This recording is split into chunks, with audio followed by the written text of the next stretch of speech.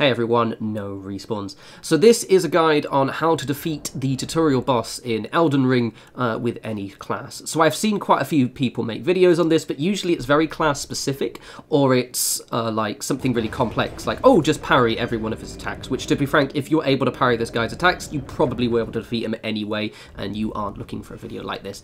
Uh, so this is for any class whatsoever, um, mainly because it requires you just taking advantage of three specific attacks. So I've played the Vagabond in this instance. You will notice at the start of the video I took most of my gear off. Uh, basically I just got it down so I'm on the lowest weight. And now you see I'm just running in uh, two-handing. The reason being is I can get some damage straight off. So I'm going to heavy attack him and I'm going to light attack.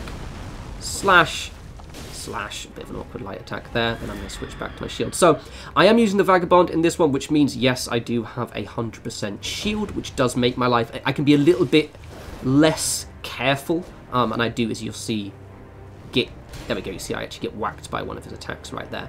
Um, I am going to speed the video up in a bit, but I'm going to point out the attacks that you take advantage of. So that one I actually whacked was one of the ones you should, um, but I will show you exactly how to do it. So I jump, roll into it, and stab him in the face.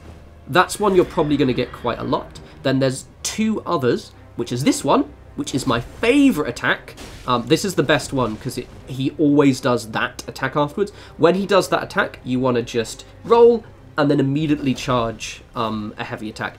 You can charge it or you can just press it. To be honest, I didn't want to risk charging it, but I thinking about it, I could probably charge it for some extra damage.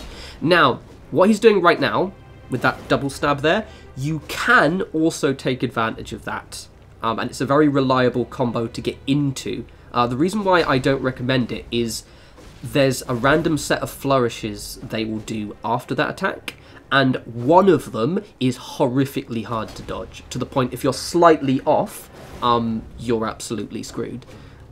The others aren't. If it wasn't for that one little flourish, I'm not even going to attempt it in this video because it just if I'm slightly off, you die. And that's when I was practicing this. I played this as the astrologer, so I initially didn't have um, 100% shield. Um, is it, it, it was horrible. I eventually decided to not, and then I realised it's really wrong. So this is the other one. Um, I do actually get hit on this in a minute. Oh, it's not this time. Okay, so basically it's those three attacks. That one, as you can see, I can actually two-hand, and I can also um, charge the attack up. Uh, so I actually get hit twice in this video, I think. Uh, both instances are me making mistakes, but I left them in because, to be honest, it's you're going to make mistakes. This is a, this is a Souls game, uh, but I want to demonstrate that you don't need to panic too much. You do have a little bit of breathing room um, to actually take a couple of hits. So what couple of things to kind of bear in mind here. So that attack right there is often the one you're going to miss quite a lot. Is this the one I get hit? No, okay, um, that one, the one he jumps in, you do miss quite a lot. Sometimes he might be a little bit far away when he jumps in, so you'll miss the stab. Always, always, always immediately roll back. That's why I've got this as most of my gear taken off, because that extra distance I can roll just makes the whole fight a lot easier. Now, you may notice that this is taking a while. This one took me around 15 minutes to do. Uh, generally speaking, yeah, 15 to 20 minutes is kind of the time scale here, which is why for some people, it's going to seem quite an ordeal.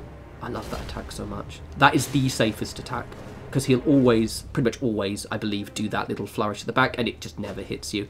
Um, it's really nice. He actually did it quite a lot during the end. Now, obviously I'm playing the Vagabond. The reason why I played the Vagabond is because the way I have 100% shield, it's going to be the slowest version of this fight because I have no ranged attacks to take advantage of.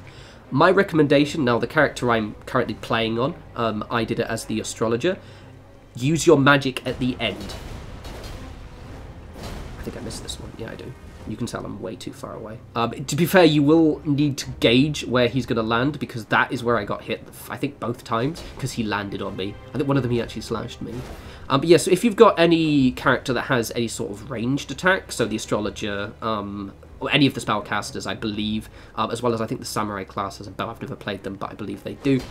Um, you can wait until he's about a third of his health, maybe between a third and a half, and you can basically just then use your ranged attacks to kind of finish him off a lot quicker. That's what I did with my astrologer. I'd recommend doing it afterwards. Uh, the reason being is his second stage is obviously where he gets the fire. Now the fire is, if you've got 100% damage reduction shield it's still going to damage you a little bit because you're going to take magical damage.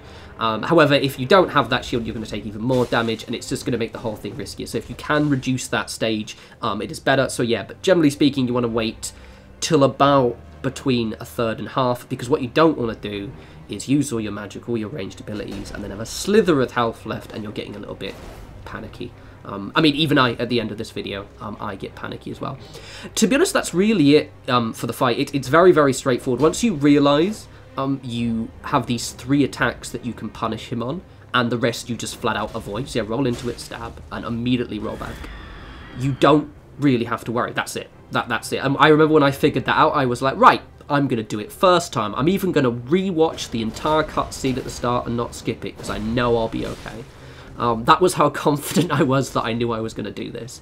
So yeah, what I'm going to do now is I'm just going to play the rest of the rest of the fight at a slightly faster speed. Don't panic. It'll take a while, around 15 to 20 minutes, but it is worth it. You do get some cool items at the end, and yeah, it. I like. I my toxic trait is that I can't enjoy a Souls game if I haven't defeated the tutorial boss, and this is the one tutorial boss that actually is a pain in the ass. So I hope this video alleviates some stress and headaches and generally you guys find it useful. Um, I'm glad I put it together because uh, this is one of those ones that I'm surprised the guides were way harder than they had to be. um, it's, it's not a hard fight, ostensibly. Anyway, you guys, good luck, and you lot take care.